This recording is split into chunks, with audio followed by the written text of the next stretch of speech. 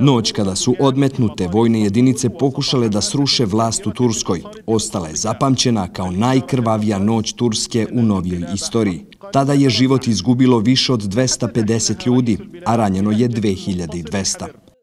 Ovaj dan se i u Novopazarskom muzeju obeležava već šest godina. Izložbom fotografija predstavljeni su detalji i najteži trenuci neuspelog puča u Turskoj. 15. jula 2016. godine je zaista sramni datum turske historije sa jedne strane, ali sa druge strane ponosni datum turske historije, jer je tada demokratija pobjedila diktaturu, pobjedila je terorizam.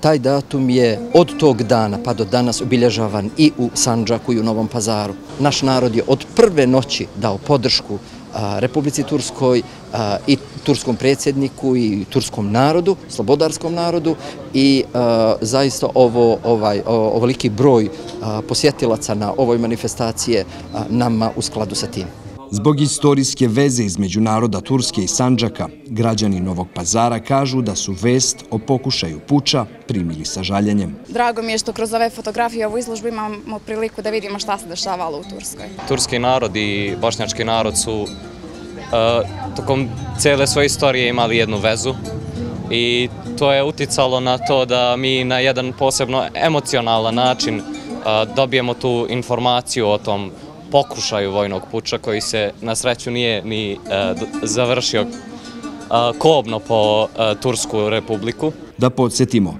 Turska je do sada uhapsila oko 160.000 ljudi te razrešila dužnosti isto toliko državnih službenika otkako je završio neuspeli pokušaj vojnog udara. Za A1, Emir Ličino. Poliklinika Ramović otvorila je novu laboratoriju koja se nalazi u ulici Veljka Vlahovića 1 iza diagnostičkog centra. U službi vašeg zdravlja. RAM laboratorije.